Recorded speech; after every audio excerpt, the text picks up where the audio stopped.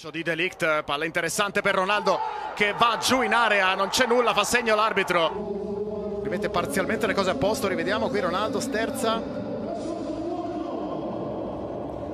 Zaidu lo travolge. addosso. Eh sì, eh. c'è poco da fare. Qui l'arbitro infatti alla fine del quarto minuto fischia.